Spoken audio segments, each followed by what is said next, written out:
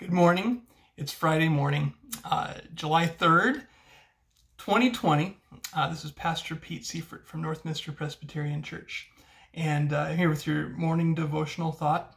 Uh, I'm back at it again after being away for two weeks for some vacation and study leave. So I'm glad to be back. And uh, been thinking about what it means to celebrate today uh, or this weekend. It's Independence Day tomorrow, and maybe you've got a sparkler ready to go, but be careful. We don't want to light anything else on fire. There's been too much smoke, too much fire lately. But um, hey, we celebrate every year July 4th, Independence Day. And we celebrate and recognize our country. We give thanks to God for our home, uh, for many who were born here, for many who are immigrants here. I know a few people uh, in our church uh, who are immigrants and uh, for whom this is their first Independence Day to celebrate uh, the birth of the United States. And so we do that together. And we pray for our leaders. We pray for the people in our communities uh, that we would uh, continue to be a safe place where there is freedom, where there is opportunity, where we can worship and work together and build a community. In 1 Timothy chapter 2, it says, I urge then, first of all, that petitions, prayers, intercession, and thanksgiving be made for all people. You need to be praying for all people, for kings and all those in authority, that we may live peaceful and quiet lives in all godliness and holiness. This is good and pleases God our Savior, who wants all people to be saved and to come to a knowledge of the truth. As we give thanks uh, for our nation, uh, we pray for God to continue to uh, show wisdom to leaders and to all of us as we contribute to our communities and have a vital part in how our nation works. I know there's been a lot of hurt lately and a lot of people who feel like there's a lack of inequality and that we still have a ways to go. Well, that's always been true. Our country certainly is exceptional, but it is one of the many nations of the world that God wants uh, to know that He loves. It's not like we're in America the greatest nation in the world. We're one of the nations of the world, and it is great. And we could always do better.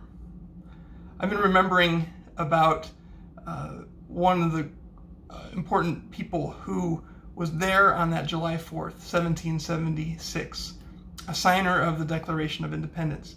He was a Presbyterian. In fact, he was a pastor.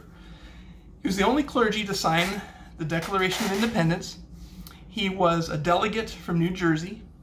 He also supported the Articles of Confederation and the, the, the Constitution as it came about. He was very influential in the formation of not only our country, but also many of the leaders who became leaders in the country. One of his important students was James Madison. Who am I talking about? I'm talking about John Witherspoon. He was a Scottish Presbyterian pastor who came to the U.S.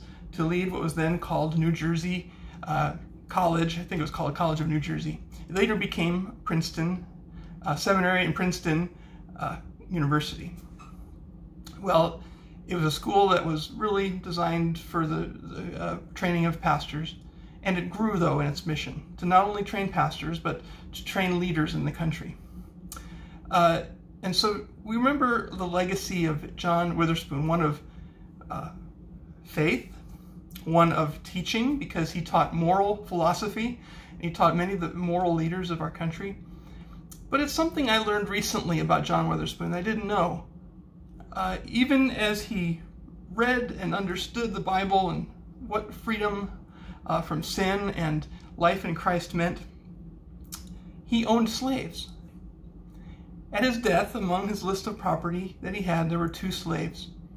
Many of his offspring uh, went to live in the South and they became wealthy as land and plantation owners who, who used uh, enslaved persons to gain wealth. And we realize that one of the many difficulties of our country was that expectation that not all men were really free or meant to be free. There are always blind spots we have. In spite of the greatest legacies we receive from people who have gone before us in previous generations, we realize that they had blind spots we do today as well. But we have the opportunity to pray for God to continue to correct our sight, to continue to give us wisdom, to continue to allow us to love Him and to love our neighbor, serving Him. I thank God for this great country. I thank God for my neighbors, for the community I'm in. And I know that even though there's differences of opinion and lots of uh, points of, of view, and there's hurt that many have experienced, uh, it's still a place I want to live in and invest in to be better. I don't want to be divided. I don't want to be uh, considered someone who's going to win or lose. I want to be a part of what God is doing in my life to bear fruit in this community. So, God bless you. God bless America.